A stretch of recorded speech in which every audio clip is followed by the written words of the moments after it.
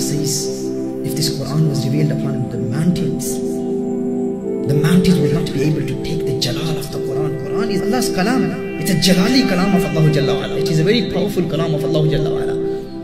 But why is it that our children memorize Quran and nothing happens to them? The Quran is in their hearts. The question comes to our minds, doesn't it? That the, same Quran, when it, is in the hearts of huffaz of Quran, those who memorize the Quran, nothing happens to them. They enjoy it. They enjoy the nur of the Quran. When they recite it, it gives them inner bliss and tranquility. They gain so much sukoon and true serenity and sakina of the qalb. Why does that happen?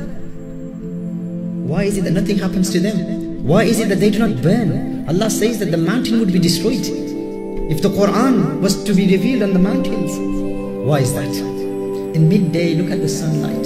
Can you look at it? It will make you blind, it will hurt your eyes.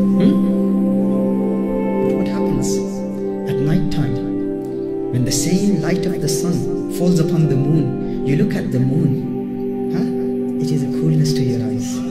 It comforts you, it gives you sukoon. Why does that happen? Is it not the light of the sun? Is it not the same light? The light is the same. The light is the same. But that light of the sun, the nur of the sun, the rays of the sun, they have a lot of jalal. But the moon has jamal. Huh? The moon has beauty. The moon has jamal. The moon absorbs the light of the sun. And with the mediation of the moon, when we look at the light of the sun, it gives us support.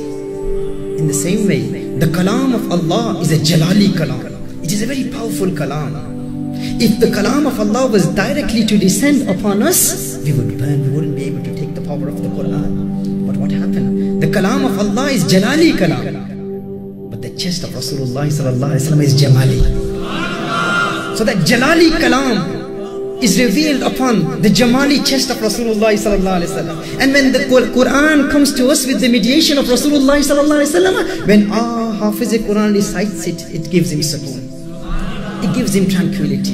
He feels the sukoon in his heart. This is because of the mediation of Rasulullah. This happens with the wasila of Rasulullah sallallahu alaihi wasallam.